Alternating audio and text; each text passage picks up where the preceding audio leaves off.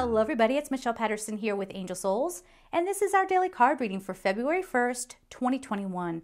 So today we have Believe in the Impossible Blue Moon. So already in February. that feels impossible to me. I'm like, what? I don't know about y'all, but did you feel like time like extra, extra sped up? That's what I'm feeling like. And also sleep issues and, you know, all that kind of stuff going on. But this is showing us that that that thing that you're feeling kind of buzzing in the background like something's there and something's about to happen but we just don't know what it is. And we're getting a lot of our stories kind of twisted and you know we're seeing lots of people try to make sense of it. And see that's the problem. We're all trying to take this feeling that has no words it has no human context for it. And yet we're trying to put a human story around it. And then it sounds nuts right and then, of course, when it doesn't come to pass, everyone's like, well, I was so sure of the story. I was so sure that this was going to happen. Well, it was just that. It was a story. What is about to change for us can't really be explained, as I said.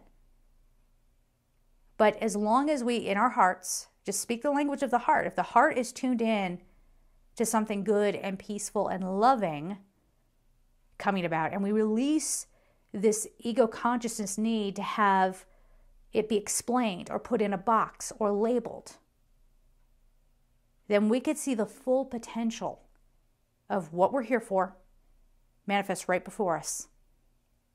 But we hold that up when we're trying to claim the story. And that's what a lot of spiritual practitioners, that's what we do. That's what people expect us to do. I was the one who called that out. I was the one who knew that was going to happen. We're not in those times anymore. Can't be doing that. Can't be saying, hey, whatever's to come, it's going to look like this, this, and this. Nobody knows. I know. No, you don't. And stop putting that energy out there.